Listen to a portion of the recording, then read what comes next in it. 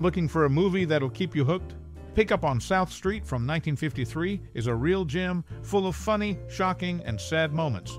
Curious about a scene that'll stick with you? Or do you have a special memory tied to this classic? Share your stories and memories in the comments below. Keep watching and let the nostalgia flow. Pick Up on South Street, a film from 1953, is a classic in the noir genre.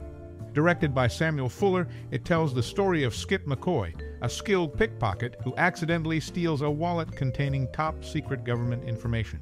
This sets off a chain of events involving federal agents, a woman named Candy, and a street smart informant named Moe Williams. Set in the tense post war Cold War era, the movie captures the gritty atmosphere of New York City. Its dark cinematography and settings delve into the underworld and the politics of the 1950s. As the plot unfolds, unexpected twists keep viewers engaged. The characters in the film are compelling and complex. Skip McCoy is portrayed as an anti hero, Candy has a mysterious allure, and Moe is street smart. Their interactions add depth to the story, keeping audiences captivated. Pickup on South Street has earned acclaim over the years for its tense plot, memorable characters, and atmospheric cinematography. While it didn't win major awards, its influence on the noir genre and its popularity among audiences and filmmakers are undeniable. In conclusion, Pick Up on South Street is a timeless classic that combines elements of crime, espionage, and human drama. Its appeal lies in its compelling characters, setting, and storytelling. A must watch for fans of noir and classic cinema alike. In the subway's opening scene, a soldier wearing the big red 1 1st Infantry Division shoulder patch disembarks. Writer director Samuel Fuller, a World War II veteran, later crafted a film about this division titled The Big Red One. Joseph, the husband, transitioned from acting to advertising at Young and Rubicam, eventually rising to a top executive position. He received a star on the Hollywood Walk of Fame at 6800 Hollywood Boulevard in Hollywood, California on February 8, 1960. Pick Up on South Street, featuring Maria Saccenti in Italy, was dubbed by various actresses in different films. In this movie, Rena Morley provided the voice. Saccenti lent her voice to Ritter only once in All About Eve. Pick Up on South Street star, an activist, advocated for stronger gun control laws. Additionally, the original Don Quixote in Man of La Mancha was portrayed by Saccenti. Pickup on South Street's leads influence extended beyond acting, advocating for causes close to her heart. In Pickup on South Street, a movie from 1953, there's an interesting link to various actors' careers and later influences. The lead actor, Richard Kiley, won two Tony Awards for his roles in Redhead in 1959 and Man of La Mancha in 1966. Kiley was also nominated for his performances in No Strings in 1962 and the 1987 revival of Arthur Miller's All My Sons. Apart from the movie, actors Willis Bouchey and Milburn Stone appeared together in the TV series Gunsmoke in 1955, with Stone playing Doc Adams and Bouchey as a town sheriff. The movie's influence even reached contemporary television as actress Rhea Perlman took inspiration from Richard Kiley's character for her role as Thelma Katz on the 2013 TV show Kirstie.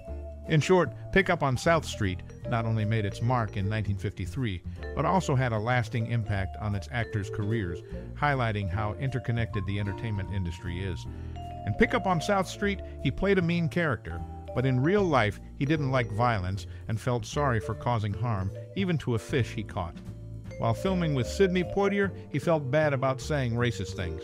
He died about six months after he hurt his back in a fall. Director Robert Aldrich said she did great in Apache with Burt Lancaster because she really didn't like him, which helped her act better. This interesting difference between how actors are on screen and off shows how complicated people can be. It shows that even if someone seems one way in public, they might be different in private. These insights help us understand actors better. The way reality and acting mix shows how good movies can be and how they can affect people. Pick Up on South Street teaches us a lot about human nature. Richard Widmark, known for his roles in important movies, starred in Pick Up on South Street, one of the three movies chosen for the National Film Registry by the Library of Congress. The movie is recognized for its cultural, historical, and artistic significance. Before appearing in films, he worked on various radio programs during the 1930s and 1940s his move to film marked a big change in his career, showing his ability in different types of entertainment. He appeared in four Oscar Best Picture nominees Miracle on 34th Street, A Letter to Three Wives, All About Eve, and How the West Was Won, with All About Eve winning the award. This shows his contribution to well known and praised productions. Movies like Judgment at Nuremberg and How the West Was Won further show his impact on cinema and his dedication to important projects. His list of movies shows his lasting presence in the industry. In entertainment, his varied career, covering radio and film, remains an interesting story of a performer who worked in different genres and times. His place in history is shown through movies like Pickup on South Street, a cinematic gem. Pickup on South Street, a 1953 film, gained notable attention for various reasons. Firstly, it's worth noting that Marilyn Monroe sat in on a rehearsal for the movie and even read for the role of Candy. However, writer-director Samuel Fuller felt that Monroe's overwhelming sensuality didn't quite fit the character, ultimately opting for a different casting choice. Additionally, the film got remade as The Cape Town Affair in 1967, featuring James Brolin, Jacqueline Bisset, and Claire Trevor. This remake brought the essence of the original to a new audience with a fresh interpretation. Furthermore, Pickup on South Street marked a significant moment in the career of an actress who received her first Oscar nomination for All About Eve in 1950.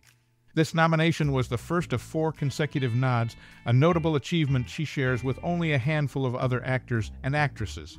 In conclusion, the movie remains noteworthy in cinema history, not only for its storyline, but also for behind the scenes anecdotes and its influence on those involved in its creation. Pickup on South Street a notable film from the 1950s, holds a place in cinematic history for several reasons. Despite not being a Best Picture nominee, it shares a connection with three films that were The Alamo, Judgment at Nuremberg, and How the West Was Won, all recognized by the Oscars in the early 1960s. This connection underscores its significance within the broader context of film history. Additionally, someone involved in the making of the movie, possibly a cast or crew member, had a unique past. They once worked with a group of seven tigers at the now defunct Jungleland in Thousand Oaks, California. This interesting detail adds a layer of fascination to the background of the production. Furthermore, the movie has left its impact internationally, particularly in Italy. The actors' performances were often dubbed by Lydia Simoneschi, with occasional help from Dhia Cristiani, Nicola Giustiniani, and Andrea Pagnani. This aspect highlights the global reach and appeal of the film, in conclusion, although not receiving the same level of Oscar recognition as some of its contemporaries, the movie has nevertheless left a lasting impression on cinematic history, both domestically and abroad. Pickup on South Street, a 1953 movie, is a notable crime film featuring a plot centered around a lifelong liberal Democrat involved in the underworld. Donald E. Westlake, a popular crime novelist, adopted the pen name Richard Stark, drawing inspiration from the first part of one of the lead actor's name. Aside from his contributions to the film, the lead actor played a significant role in land preservation in Roxbury, Connecticut, his adopted hometown.